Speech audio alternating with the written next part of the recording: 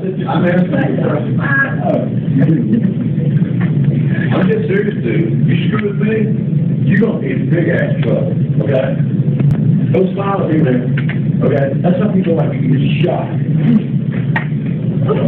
I got a bet. I bet by the time you're twenty-one, seconds, you're supposed to like you go ahead.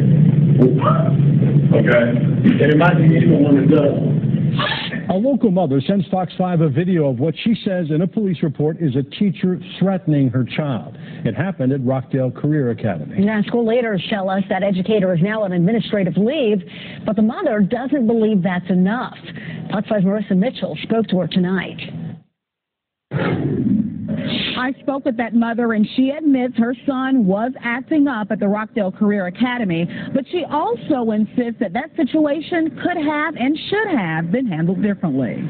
I'm upset, I'm hurt, you know, I'm confused, like, what is going on? A flood of emotions for the teen's mother, April Carr, after seeing this video on social media, she sent it to Fox 5.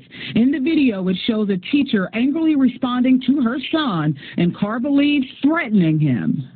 I'm just serious, dude. You screw with me, you're gonna get in okay? Don't smile at me, man, okay? That's how people like you get shot. I got a bet. I bet by the time you're twenty-one, seconds, you're to you go ahead. Okay? And it might be even one that does. It's horrible. It's absolutely horrible. And in the video, you can tell he's angry. He's definitely angry.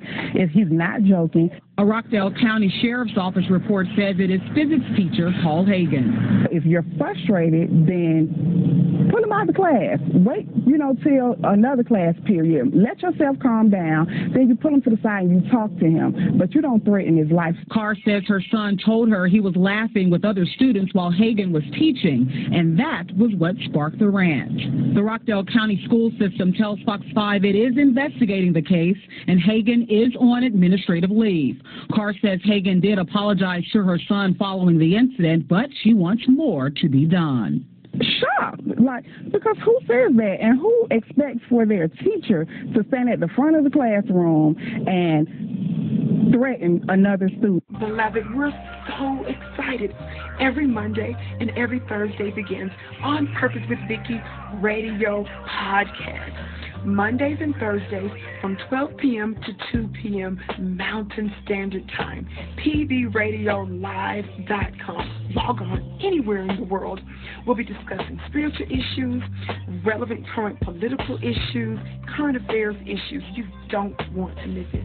We also will have wonderful guests calling in as well in the very near future. We hope to see you there on Purpose with Vicky, PVRadioLive.com, Mondays and Thursdays, 12 p.m. to 2 p.m. Mountain Standard Time. You don't want to miss it. And to seek and knock, he went on a treasure hunt to find out who he was. But in the process of him trying to learn who he was, he started to exemplify certain talents and gifts. He was able